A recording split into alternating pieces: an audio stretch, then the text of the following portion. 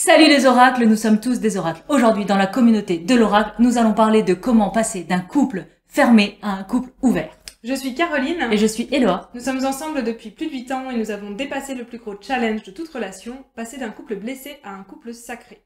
Pour cette vidéo, on va partir du principe que vous en avez déjà parlé dans votre couple et que vous êtes d'accord et c'est plus sur la question comment on fait à partir de là, qu'est-ce qu'on a besoin de prendre en compte quand on fait ce, ce, ce travail. Oui, c'est un travail en fait. Hein ce, passage de passer d'une relation exclusive à une relation libre Alors, la première étape, c'est de t'inscrire sur Tinder. pas du tout. C'est pas ça. Merci. Merde. Ça peut en faire partie, mais attends. Attends, après, après. La première étape, c'est de décider si on veut faire ce passage seul ou accompagné. Est-ce qu'on a envie de se faire aider? Parce que décider d'ouvrir son couple, mine de rien, c'est une décision majeure dans sa relation et ça va impacter l'équilibre de son couple. Et donc, ça veut dire que, parce qu'on sait que la, sexualité et la relation, c'est vraiment un lieu où il y a énormément d'émotions, de, traumas qui sont cristallisés, à partir du moment où euh, vous faites rentrer d'autres énergies, on en va reparler juste après, dans votre couple, ça va faire bouger au niveau euh, émotionnel, au niveau euh, spirituel, au niveau énergétique votre couple. Et nous, vous faites ce que vous voulez, c'est une proposition, mais nous, je pense qu'on vraiment ce qu'on vous recommande, c'est d'être accompagné soit chacun de votre côté, soit ensemble, pour faire ce passage, pour faire cette transition, et que votre couple survive en fait euh, à ce changement-là.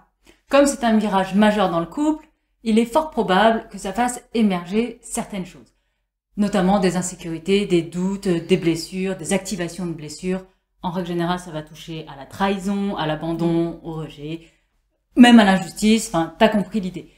Parce que clairement, on a pu se mettre d'accord en disant, OK chérie, on ouvre notre couple, et ça, on l'a compris intellectuellement, mm. on en a envie, on est prêt, mais tant qu'on l'a pas vécu, bah on l'a pas vécu. Mm. Donc, au moment où on va commencer à vivre, au moment où ton autre va te dire, bah ce soir, je rentre pas parce que j'ai un date, il est possible, pas forcément obligatoire, mais il est possible qu'il y ait quelque chose qui émerge en toi. Et cette petite chose qui émerge en toi, il va falloir t'en occuper, parce que si tu ne t'en occupes pas, un jour tu vas la balancer à la gueule de ton autre, et ça risque de faire exploser ta relation. La deuxième chose dont on a envie de te parler, c'est de prendre en compte tous les plans de votre relation au moment où vous faites ce passage. Donc il y a le plan physique, celui de la sécurité, euh, c'est celui dont je pense tout le monde est conscient. Donc on va pas rentrer euh, plus euh, en détail. Sortez couvert Plus en détail sur celui-ci. Il y a le plan émotionnel, on vient juste d'en parler, qui est plus au niveau de comment être accompagné pour traverser les émotions, les blessures, les, les, les traumas que ça peut faire remonter en soi. Et il y a un troisième plan dont on entend très très peu parler, qui est le plan énergétique. Parce qu'il faut savoir, c'est que une relation sexuelle entre deux personnes, ça crée un lien énergétique entre les deux personnes, et que bah, le fait évidemment d'ouvrir la relation, ça vient changer ce lien énergétique, ça vient faire bouger en fait cet équilibre. Bien sûr, d'un point de vue énergétique, tu te doutes bien, encore plus quand tu es en sexualité sacrée et donc que tu en es conscient, mais même dans une sexualité normale où tu n'en es pas conscient, ça se passe. Il y a des échanges de fluide et il y a des échanges énergétiques.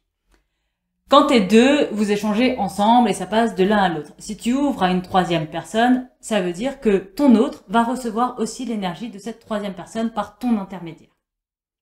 Ou vice versa, t'as compris l'idée. Donc, ça veut dire quoi? Ça veut dire que déjà, moi je trouve que la base la plus saine, c'est que tout le monde se connaisse et soit consentant de vivre dans les énergies de tout le monde. Voilà. C'est un peu euh, le vu qu'on va tous se mélanger énergétiquement, autant qu'on soit au clair avec qu'est-ce que je prends de euh, la tierce personne ou de la de l'autre personne. Donc ça pour moi ça a besoin d'être très ouvert et très consenti, c'est la base la plus saine. Après vous faites ce que vous voulez. Ensuite, ça veut dire quoi? Ça veut dire que toi, en tant que personne, vu que tu vas recevoir déjà les énergies de ton autre, plus les énergies encore d'un, plus encore les énergies au nombre de partenaires que tu as envie, ça va te demander, toi, de faire un travail de nettoyage énergétique plus régulier, plus constant, plus approfondi, pour pouvoir te recentrer, toi, dans ta propre énergie.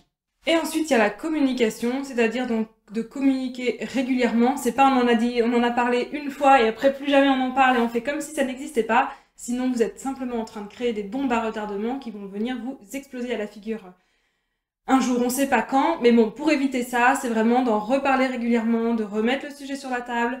Comment est-ce que vous le, vivez émotionnellement? Est-ce que c'est toujours juste pour vous? Et de vraiment rediscuter de ça régulièrement. Durant le mois de juin, nous allons faire un atelier justement sur cette thématique. Si tu veux être tenu au courant, je t'invite à t'inscrire à la newsletter. Le lien est en description. Et on se dit à très vite dans la communauté de l'oracle.